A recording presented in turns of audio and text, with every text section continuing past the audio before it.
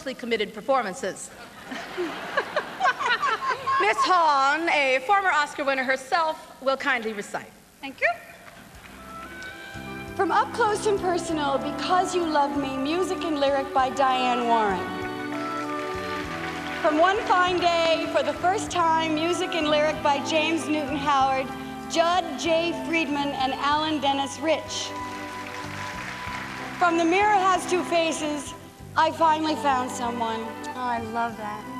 Uh, music and lyric by Barbara Streisand, Marvin Hamlisch. Streisand. Streisand. God, I've known her for 25 years. Barbara Streisand, Marvin Hamlisch, Bryan Adams, and Robert Mutt Lange. I think I know Mutt too. No, but. And And now, Be- okay. and now Miss Keaton, who is herself a nominee tonight. I know, isn't voted it for you, Don. I voted.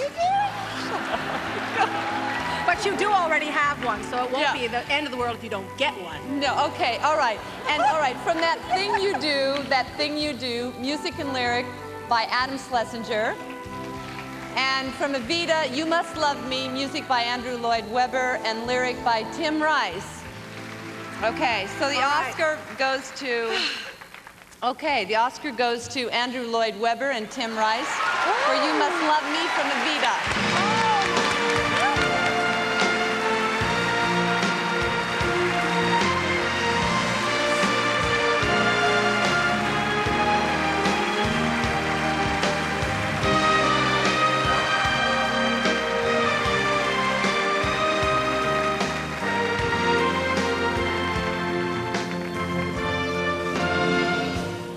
Well, thank heavens there wasn't a song in The English Patient, is all I can say.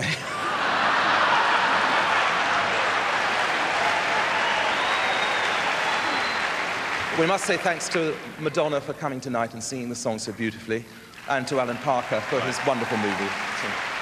And uh, as ever, I agree with everything Andrew says.